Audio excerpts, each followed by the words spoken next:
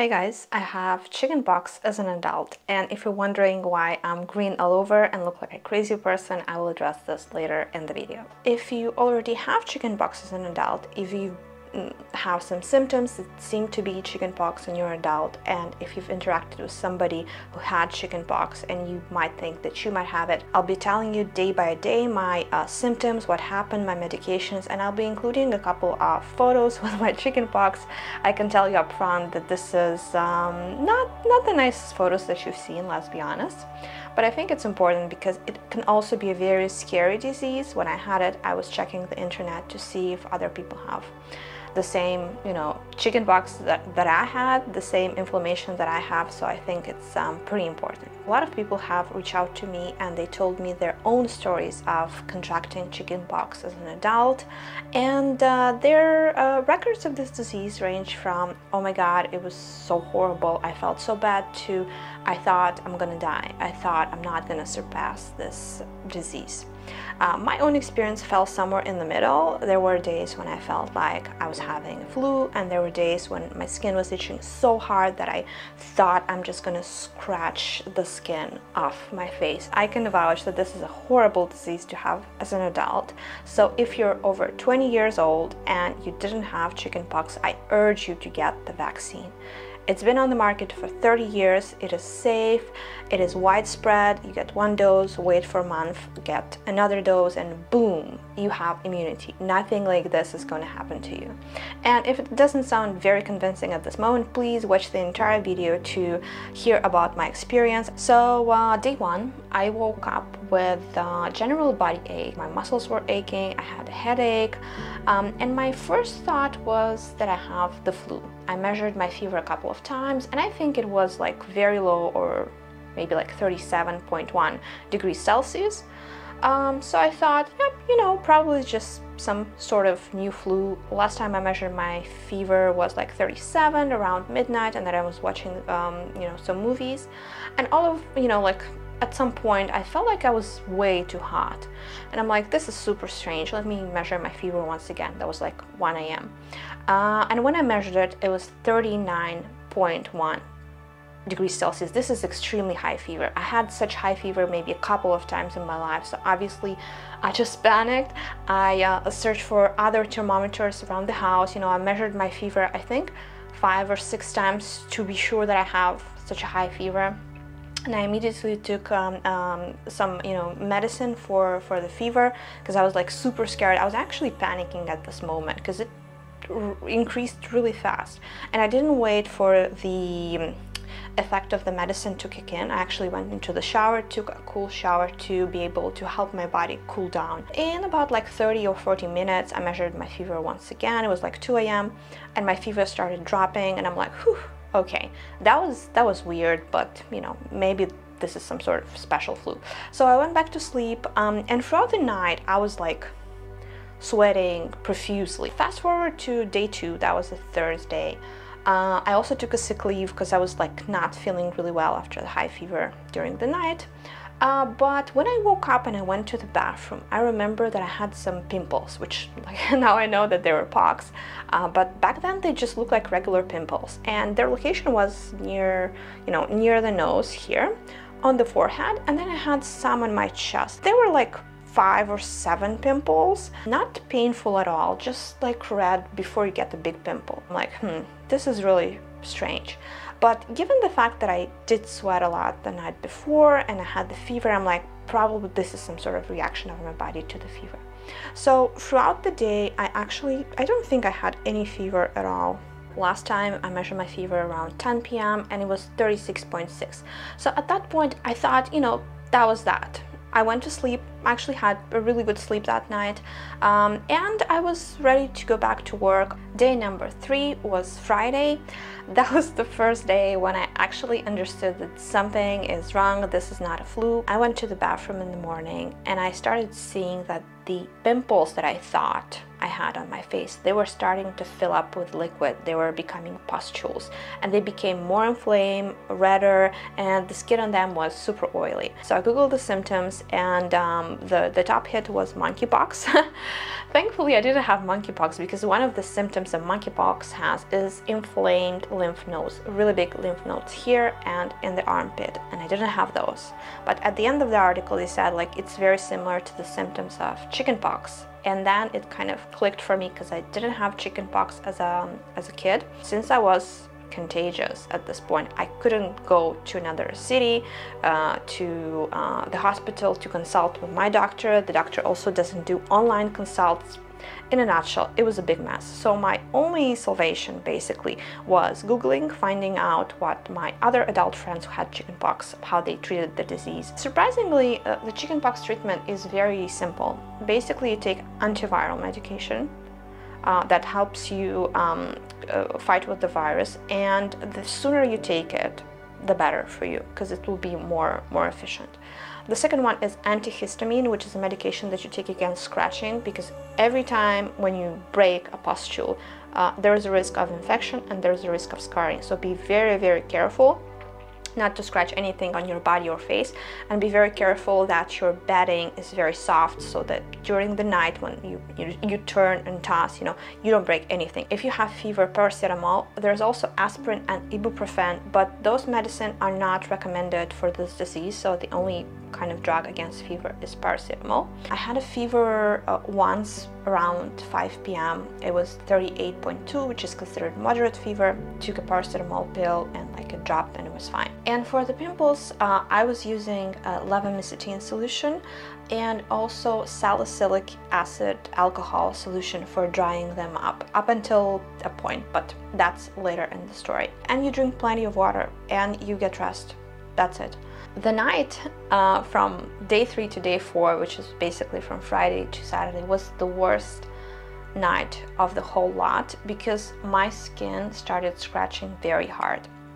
Uh, there is a limit to how much antihistamine you can take per day. It's like morphine, like you can take more because it's dangerous for your body. So basically I took a pill and I had to take an, the next pill like in a couple of hours in, in the morning. Um, but uh, during the night, uh, I only slept three hours from 2 a.m. till 5 a.m. because my skin was scratching so much. There was no comfortable position that I lay in. I slept like this, and then like this, and then like this. It was it was just horrible. And during the three hours, I would wake up regularly because the skin was scratching so much. From 5 a.m. This is already day four, Saturday, um, till like 7 or 8 a.m. I was just like going back and forth through the apartment and scratching my head because my, my scalp at that point didn't have any uh, pox. Uh, so I was like scratching my head like this and going through the apartment and like I couldn't focus on anything. I just wanted to stop.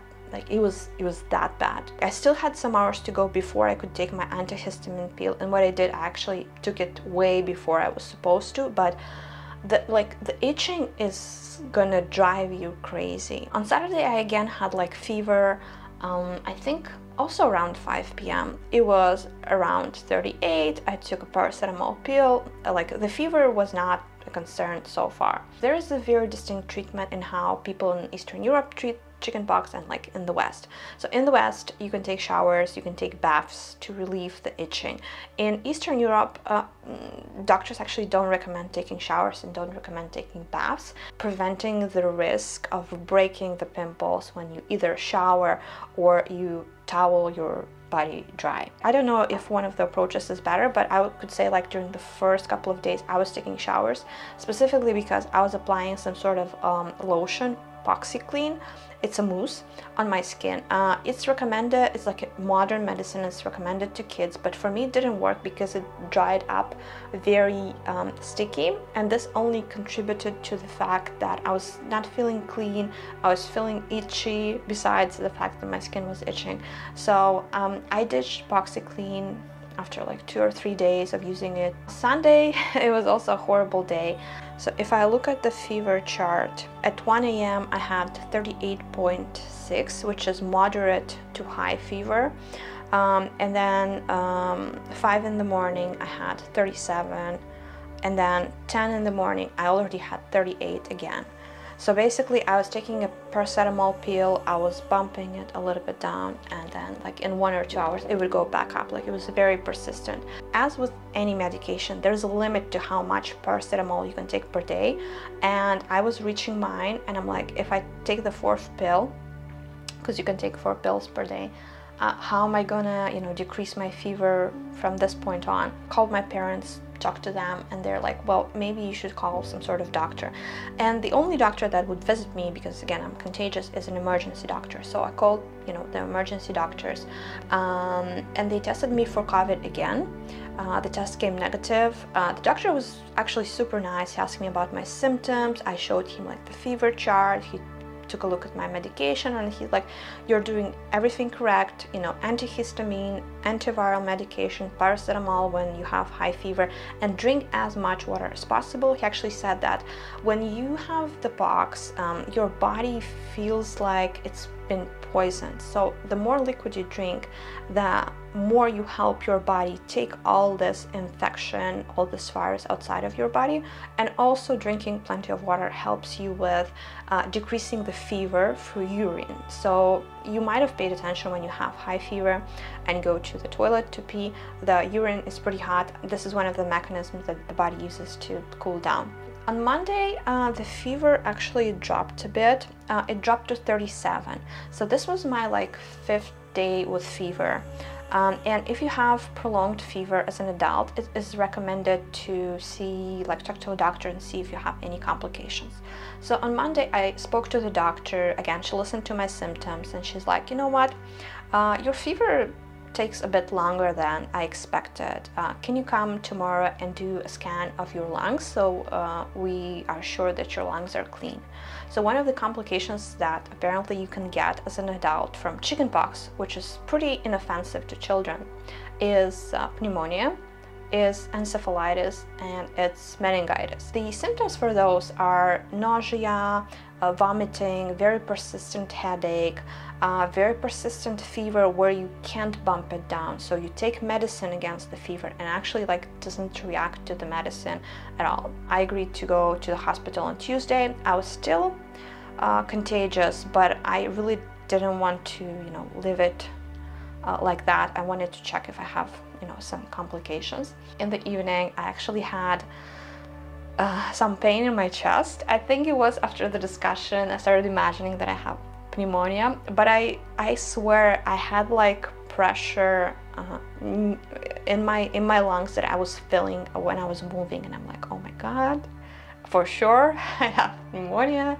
it is bad. On Tuesday, I went to the hospital. I actually spent there half a day, like doing all different procedures, and I felt really bad because I was contagious, still contagious at that point.